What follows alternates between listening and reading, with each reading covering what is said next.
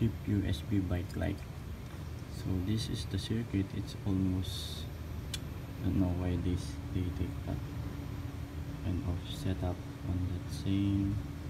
And then this I just screw that and this is the back just the push button. There's a three light. This is when I just try to take out the light but it's really hard to take out actually that uh, the reflector or the caps is an aluminum.